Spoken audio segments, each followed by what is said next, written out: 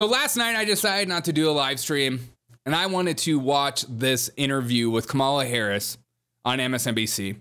I thought this interview might have a chance to be decent to watch and worth watching. If you haven't already watched it, I strongly suggest you not to watch it. It's absolutely ridiculous. It was supposed to be a two hour long interview. It was supposed to be this epic interview. She was finally going to sit down and ask the tough, hard hitting questions. We got a tiny bit of pushback throughout the entire debate, but not much. And there was a lot of points. There was a couple of points where even she, during the interview process, gave Kamala Harris the answer or the yes and as opposed to just being a journalist, asking the question, allowing the person to respond to the question. And if they don't get the question 100% right, that's on them, not on you as a journalist. Your job isn't to help the interview E understand and give them answers during the interview. Your job is to see what goes on, allow things to unfold, allow for awkward moments. She didn't do that. And it's insane. I wanted to see MSNBC's five takeaways. My favorite moment of the entire entire interview was this moment right here. was about her working at McDonald's. Absolutely ridiculous. The first one, just a fact check, because your opponent There is almost no little every job. day- There's no such thing as a little job. Okay, fair, fair.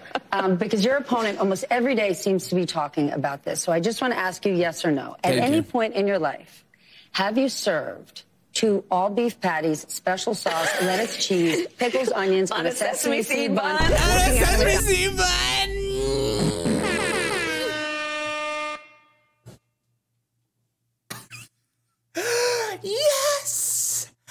I have.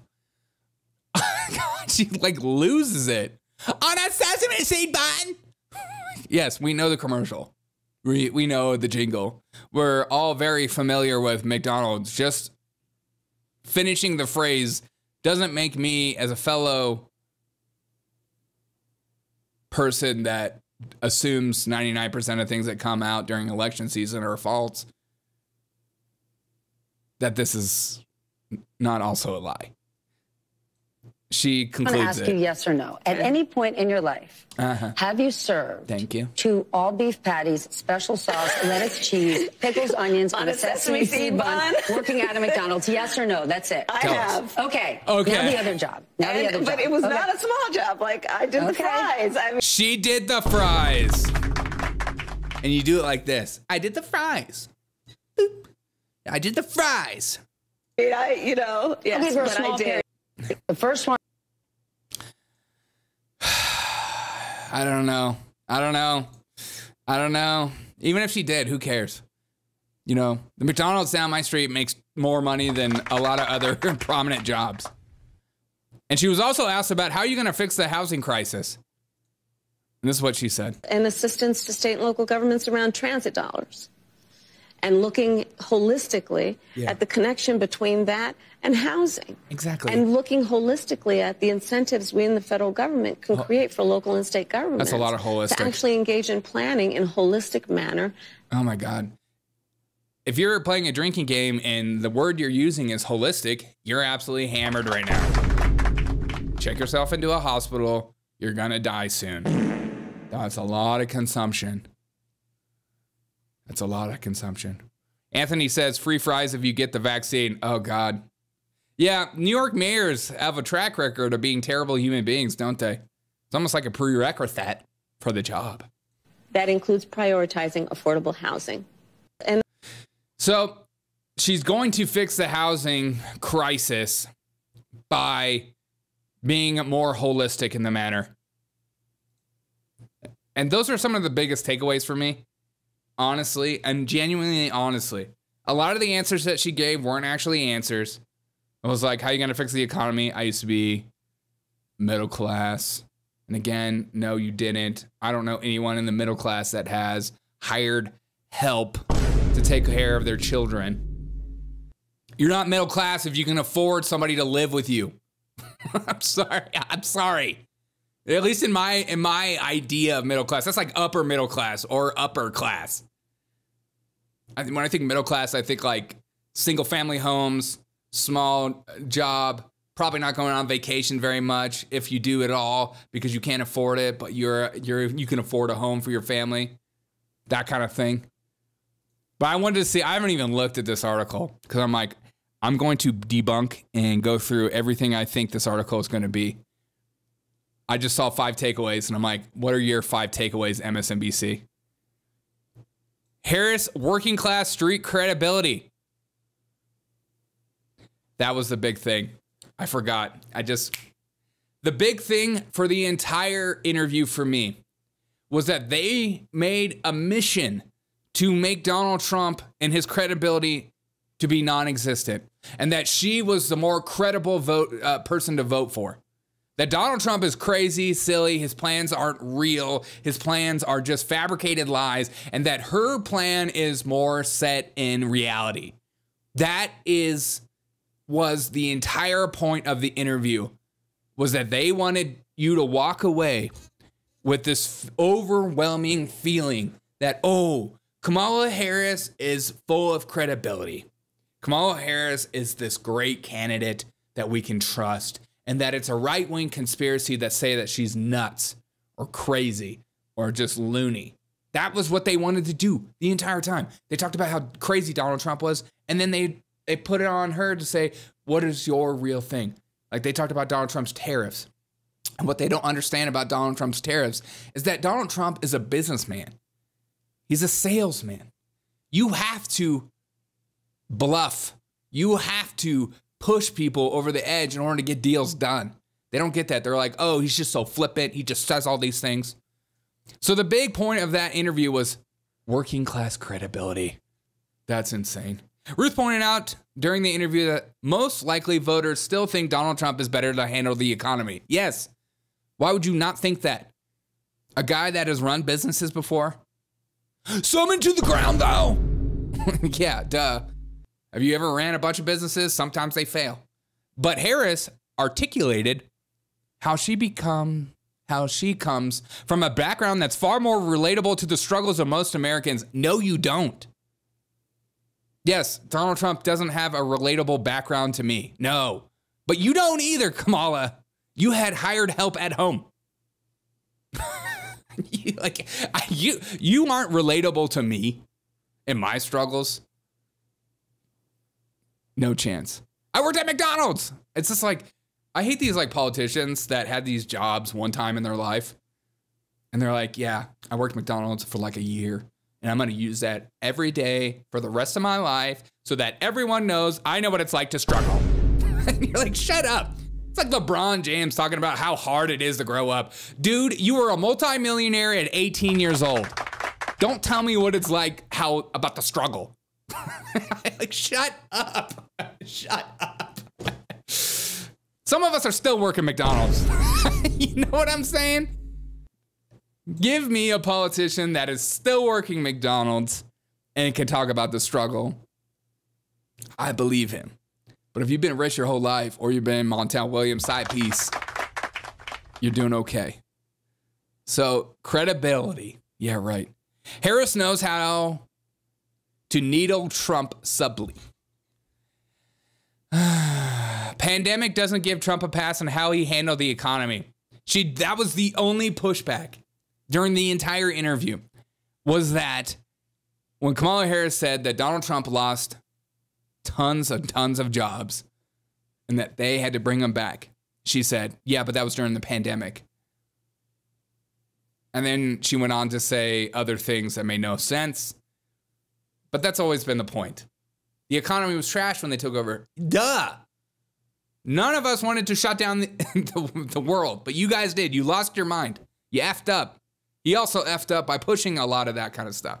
So like we, it was just an effed up time. But this idea, it's like, oh yeah, we just totally forgot that people were losing jobs or just sitting at home collecting paychecks. We all remember that kind of stuff. You talk about jobs numbers, shut up.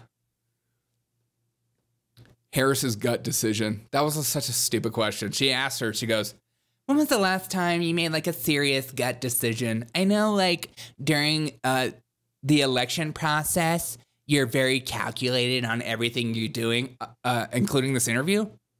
No, not this interview. This one's real. When Ruth asked Harris about the most recent time she made a gut decision, she answered, Probably my biggest gut decision I've made most recently is choosing my running mate. There were lots of good, incredible candidates, and ultimately it came down to a gut decision. That's what made you choose him? Your gut? Because it certainly feels that way. Women have a reason to fear a second Trump presidency. was another big push. Hey, Kamala Harris won't shut up about abortion. Donald Trump isn't pro life. And if you're on the right and you don't know that, it's time to wake up to that, huh? the Republicans have decided that is not a winning issue. And so they have let go of it. They have let go of it. And as somebody who is pro life, that sucks. But that uh, ultimately is the culture in which we live in. Trump has recently boasted he will protect, be a woman's protector. And Harris, who has made abortion rights a centerpiece of her camp, she's just like, Donald Trump's like, yeah, states' rights, let people just vote on it. She's like, oh, oh no, we need to have abortion and it needs to be my reason in which I run on. This is their entire campaign. This is Kamala Harris's entire campaign. I'm going to protect your right to kill your baby. I'm going to be the protector of that. I'm a protector of the non protected by protecting your right to keep working that job.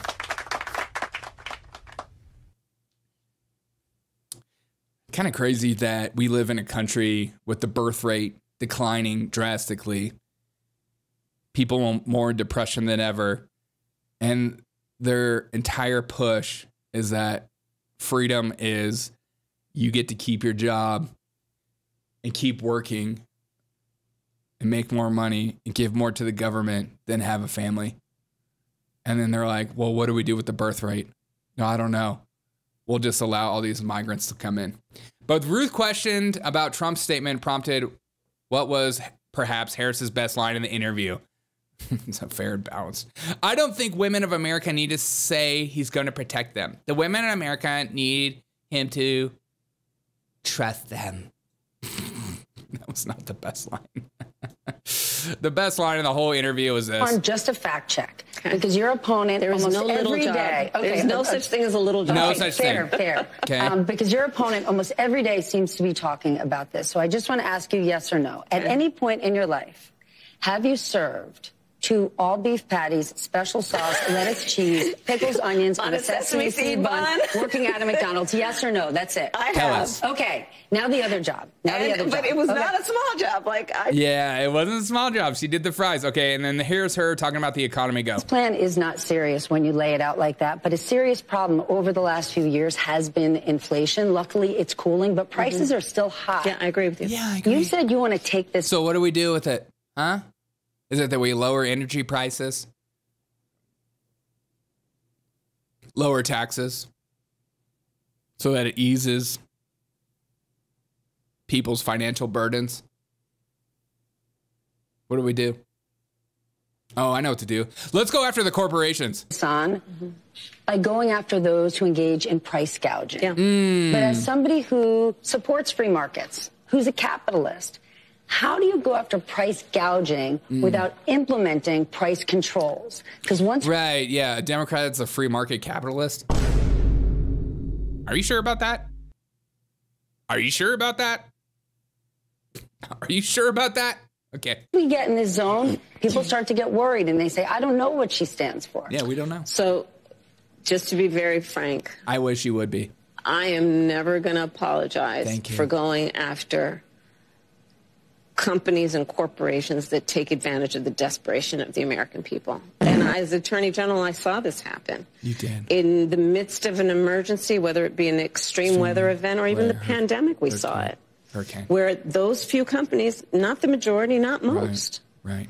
but those few companies Yeah. that would take advantage of the desperation of people Yeah. and jack up prices. yeah, I'm going to go really? after them. Yes, I'm going oh. to go after them. Oh.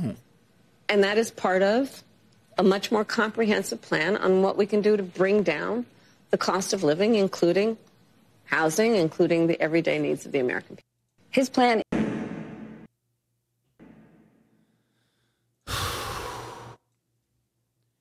Her plan is to go after corporations, which in turn will make them go away. And then we no longer have corporations, then we just have state run funded grocery stores. Oh, that's just I love that her example for how she's going to fix the economy and inflation is completely based on an emergency like situation. So you think it's an emergency right now? Is that what you're saying? You think right now we're in an emergency, Kamala? Huh. Interesting. Weird that you would feel that way. Because I thought you would think that everything was perfect because people are voting for you because they enjoy the last three years. So your job is to go after the corporations. Got it. Hmm. Okay. We are. Okay, guys, we are totally screwed. Everything is just going to be just great. God, I don't think Donald Trump is like perfect. I don't think, I, I don't know how much better her life's going to be, but I do know one thing I do not trust her. And I think that she is dumb enough to make things way worse based on the premise that she wants immediate relief at the beginning. So have a wonderful day. oh my God.